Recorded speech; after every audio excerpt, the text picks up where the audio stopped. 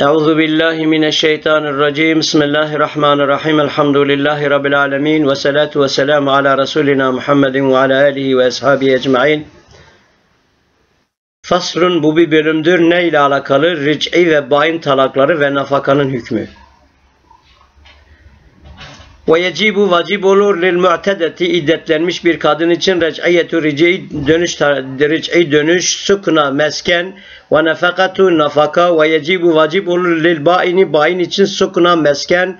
dune dune nefakati nafakanın haricinde. İlla ancak en eğer tekune olur hamilen hamile ise yecuzu caiz olur ala üzerine mütevaffa vefat edilmiş. Anha o kadında.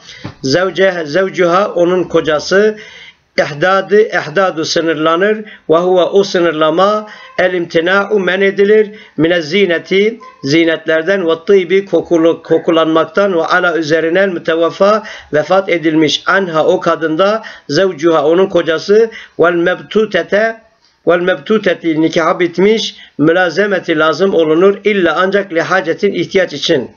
Ve sallallahu ala seyyidina Muhammedin nebiyyil ümmiyi ve ala alihi ve ashabihi ecma'in ve ahiru da'vana enilhamdülillahi rabbil alemin. Esselamu aleyküm ve rahmetullahi ve berekatuhu.